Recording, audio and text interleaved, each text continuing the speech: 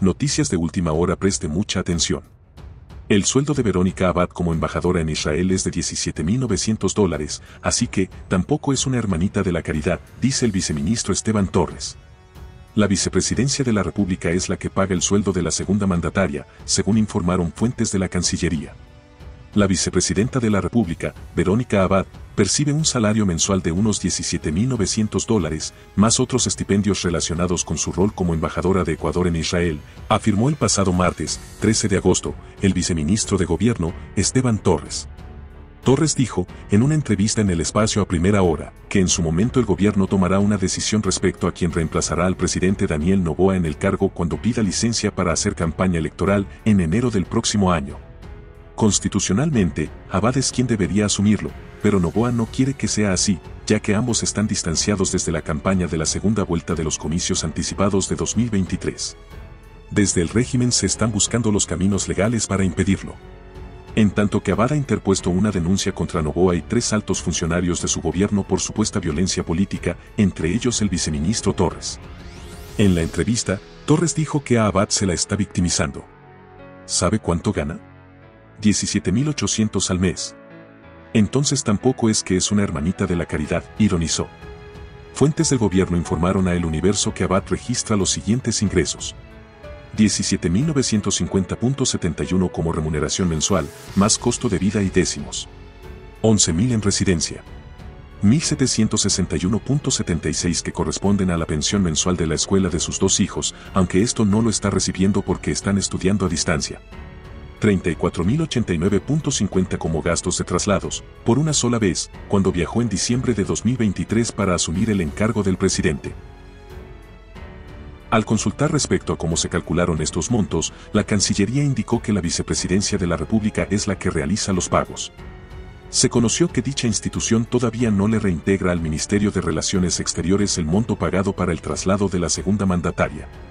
En el apartado de transparencia en la página web de la Vicepresidencia de la República constaba, hasta marzo pasado, que Abad recibe un sueldo mensual de 4.869. La funcionaria, su familia y sus colaboradores fueron movilizados temporalmente a la Embajada de Ecuador en Turquía debido al recrudecimiento del conflicto armado en Israel. En más noticias. Y les contamos que los vocales del Consejo Nacional Electoral deberán ser reemplazados hasta noviembre. Esto a través del concurso de renovación parcial o por la titularización de sus suplentes, según indicó uno de los consejeros de participación ciudadana.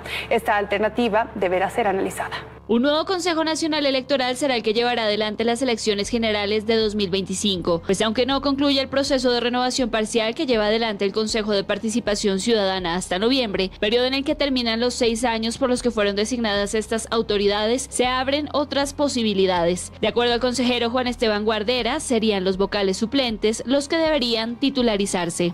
Es un tema ineludible, si es que transcurre el plazo y no hay un concurso aquí listo, no pasa nada. Diana Tamaint y compañía igual va a tener que salir porque sí hay autoridades ya posicionadas que todavía su plazo legal todavía no ha fungido.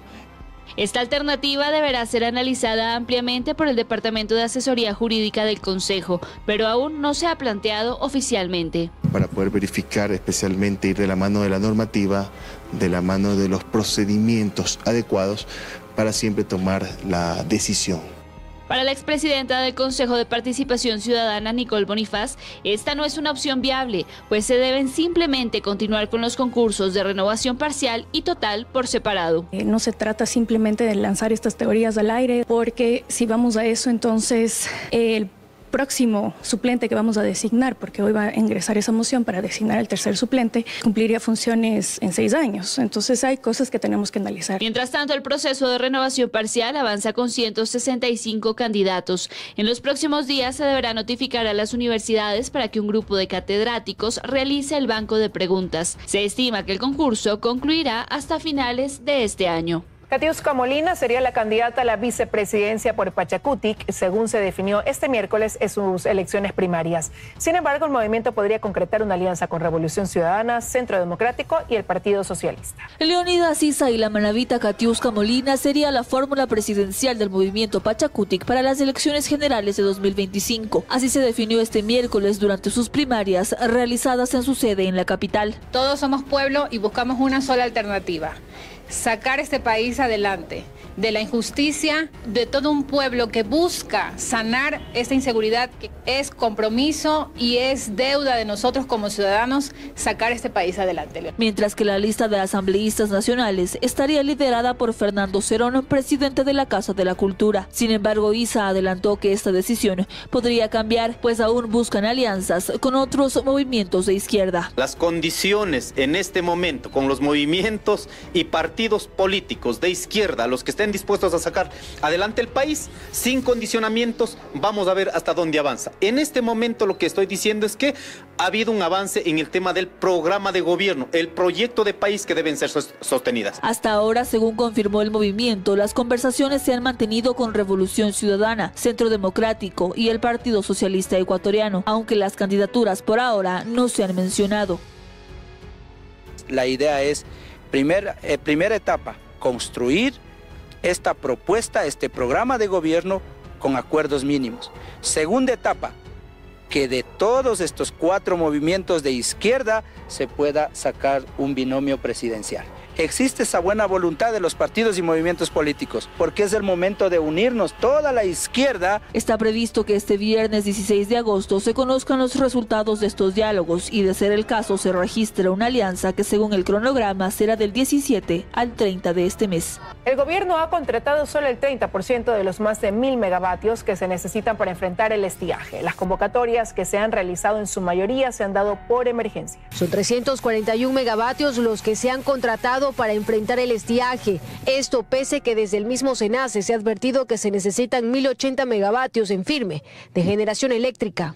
El alquiler del barco de generación en Brevey es uno de estos. De aquí se recibirán 100 megavatios. En cuanto a generación en tierra, se tiene la compra de motores eléctricos en Quevedo.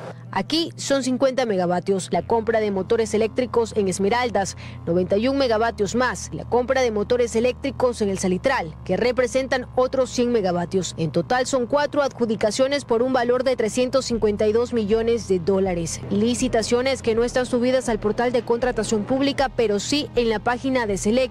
Esto por venir de fondos de multilaterales, quienes también toman participación dentro de estos contratos. El único proceso que se ha declarado desierto hasta el momento es la compra de motores en tierra en Santa Elena, que sumaban 28 megavatios. Esto conforme a la resolución de contratos de emergencia a inicios de año emitía el gobierno, donde también se establecía que la delegación para estos contratos recaía sobre las unidades de negocios de Select EP Electroguayas y Select EP Termopichincha. Debido al déficit de más de 68% de energía, Ecuador deberá mantener la compra de electricidad a Colombia, por la cual pagamos 33 centavos, sin garantías de un suministro estable. A esta medida hay que aumentarle la posibilidad de la realización de un plan de reducción de energía a nivel país.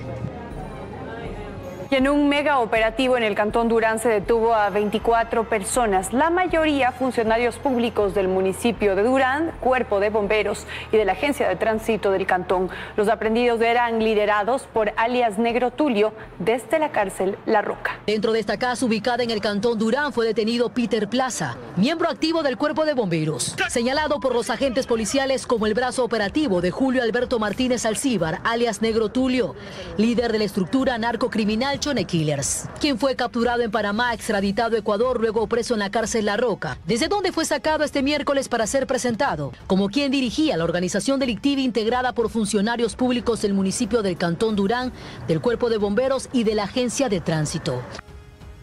El mega operativo de la Fuerza Pública arrancó a las 3 de la mañana de este miércoles. Empezaron allanando las oficinas del municipio de Durán, donde se realizó el levantamiento de documentos, en los que constan como parte de la nómina de empleados familiares de los integrantes de la banda delictiva Chone Killers.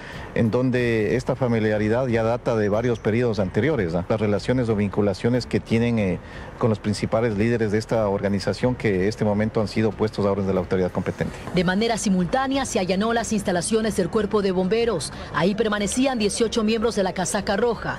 A todos se les retiró los celulares, mientras que un can antidrogas olfateaba los tanqueros y camionetas donde se presumía había droga. Bueno, la, investigación nos ha permitido determinar de que los vehículos de estas instituciones públicas, especialmente del cuerpo de bomberos, estaban siendo utilizadas para el tema del traslado de drogas. Incluso meses atrás se detectó que de una camioneta de esta dependencia escaparon los sicarios que intentaron asesinar a dos policías de este distrito, donde a la fecha se reportan 285 muertes violentas. El alcalde de Durán, Luis Chonillo, expresó que en su administración brindará a la policía y fiscalía todas las facilidades que estén a su alcance para las investigaciones que se lleven a cabo. En total, 24 personas fueron detenidas, la mayoría funcionarios públicos implicados en múltiples delitos, desde tráfico de droga, lavado de activos hasta sicariato, extorsión y robo de vehículos. Además de Durán, también se cumplieron intervenciones en Daule, San Borondón y Pascuales. Una ola de acciones de protección buscan frenar el concurso de selección de jueces de la Corte Nacional de Justicia envuelto en escándalos por supuestos errores en puntajes y en la contratación de una empresa fantasma que elaboró las pruebas de confianza. Ni la dueña de la empresa ni su gerente registran pago de impuestos. Las dudas sobre el concurso para jueces de la Corte Nacional de Justicia provocan malestar entre los propios postulantes que buscan ponerle freno al concurso o regresarlo a una fase anterior que les genere confianza. Luego de conocerse que el Consejo de la Judicatura contrató a una empresa fantasma para la elaboración de las pruebas de confianza, las dudas se vuelven gritos. El concurso debe parar, dice Miguel Molina, director de la Escuela de Derecho de la Universidad Internacional del Ecuador. Bueno, eh, una opción podría ser retrotraer el concurso hacia eh, el inicio a fin de garantizar que las distintas fases realmente puedan cumplir con los principios constitucionales para la elección de jueces de una alta corte y también para que haya una suficiente veeduría y control por parte de la ciudadanía que permita verificar que estos procesos se llevan a cabo de modo transparente.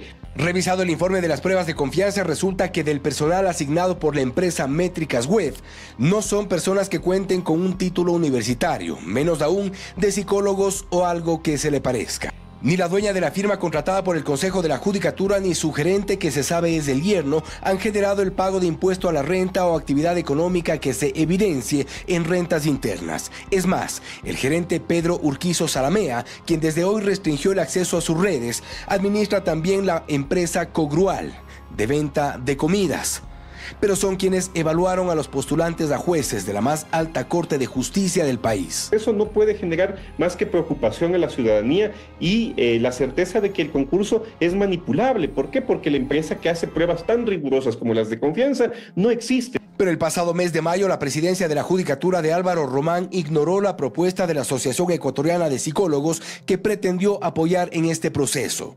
La firma israelita Logical Commander, también con expertise en pruebas de confianza y detección de riesgos, se ofreció a generar un piloto y demostrar sus herramientas en el contexto de este concurso. La presidencia de Álvaro Román también lo ignoró, terminando por contratar a Métricas Web, que como evidenciamos apenas existe en los registros. No obstante, desde el Observatorio de Derechos y Justicia, María Dolores Miño cree que el problema no solo está en el escándalo de las pruebas de confianza. ¿Por qué? Porque hay discordancias entre ciertos postulantes a los cuales, por ejemplo, se les permite eh, ingresar documentos posteriormente cuando el reglamento decía otra cosa y a otros no.